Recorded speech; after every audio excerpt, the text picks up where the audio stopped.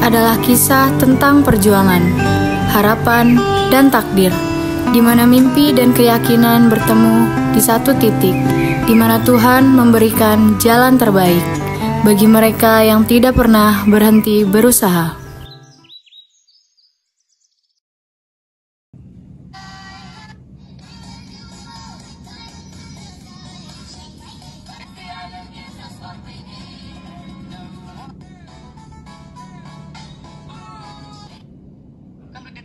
Hukum itu sesuatu yang tidak dilarang itu boleh dilakukan. Nah, anda dari pesantren nih, saya bacakan dalilnya. Kenalin, aku Ahmad Adia Surya. Aku adalah seorang siswa yang mempunyai keinginan dan cita-cita yang tinggi untuk menjadi seorang abdi negara. Aku memang tidak terlalu pintar, namun aku terus berusaha untuk selalu belajar agar semua keinginanku tercapai. Ya, walaupun pada akhirnya gagal lagi, gagal lagi.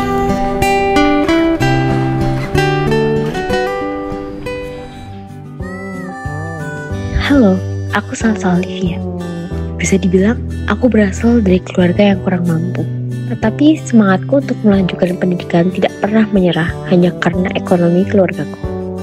Aku selalu belajar dan berusaha agar menjadi siswi berprestasi sehingga bisa membanggakan kedua orang tuaku. Tiba-tiba, kepala sekolah memanggilku untuk menuju ruangannya.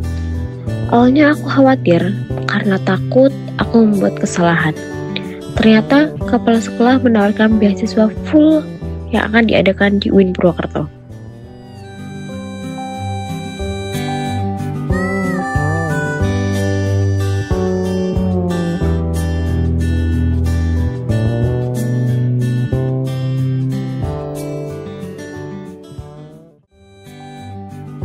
Dia selamat.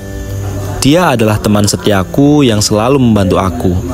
Aku sering bercerita banyak hal kepadanya, termasuk bagaimana aku ditolak kedinasan dan tidak diterima di kampus impianku.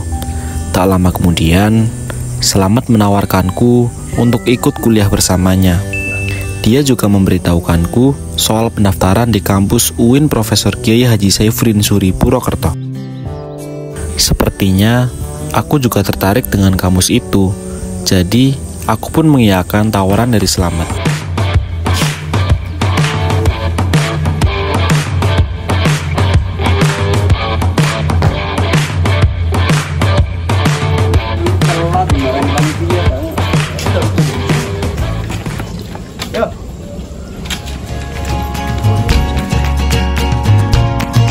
Mungkin Win Saizu adalah sebuah jawaban dari Tuhan untukku.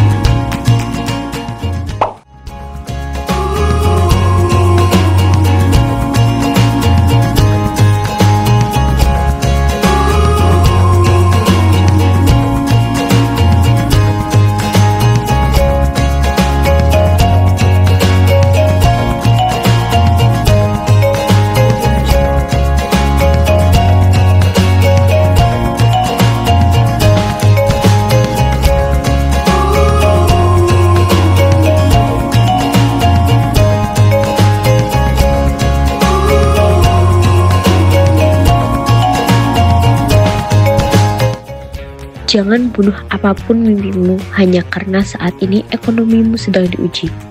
Tuhan akan memberimu jalan ketika kamu mau mengusahakan apa pun. Ingat siapa pun bisa menjadi apa pun.